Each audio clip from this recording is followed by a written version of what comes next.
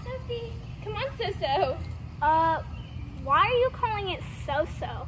Isn't its name Sophie? Uh-uh. Freedom of speech. What is that? It gives me the right to say whatever I want when I want, without the government's control. It's part of the First Amendment. Is that it? No, there's much more to the First Amendment. Of course there is. It's quite interesting.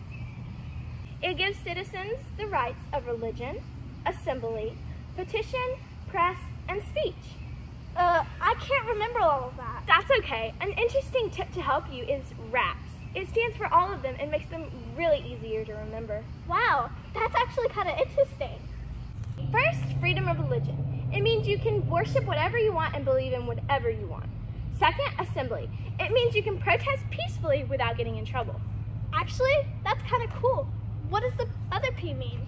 Petition. Petition means you can petition against the government again without getting in trouble.